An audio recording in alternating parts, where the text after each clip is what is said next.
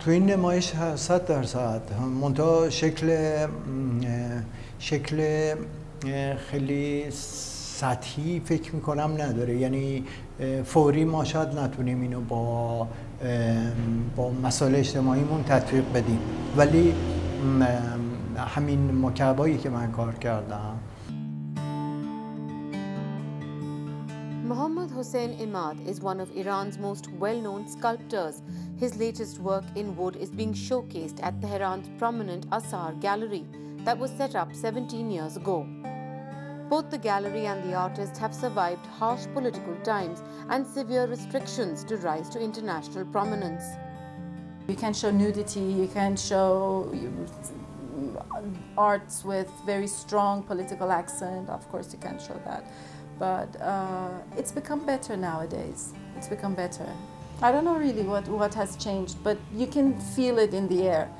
Artists are a mirror of their times, the societies they live in and the politics they are surrounded by no matter which part of the world they live in and Iran is of course no different. Small new galleries have been cropping up every day in Tehran's downtown cultural hub reflecting the desires of a society governed by rigid religious constructs to push boundaries.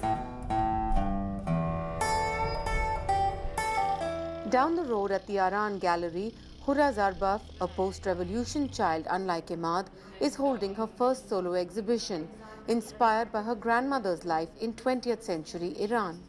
No matter how uh, crazy it's happening outside, there is also always this, you know, inner self uh, in seclusion and having to deal with daily routine mundanes and um, it's always going to remain the same.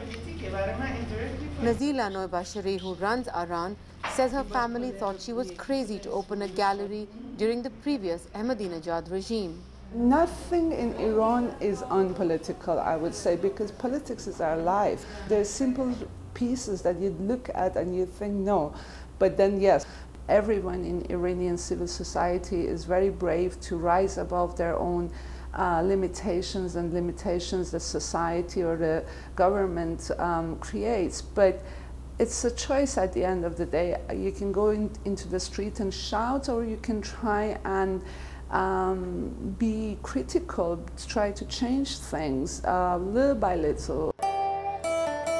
Orkideh Daroodi at the newly opened Gallery O is showing paintings by Berlin-based Iranian expat Ali Nassir one of Iran's biggest names in the international art world.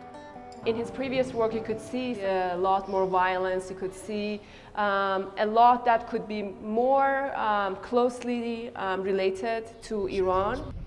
Iran today is significantly different from what it was even two years ago.